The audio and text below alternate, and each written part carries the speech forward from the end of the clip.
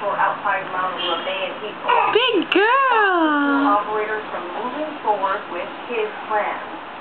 And we want to know what you think. Do you think shark tours should be banned? Log on to our website. What is your opinion. We will have results tonight at 10.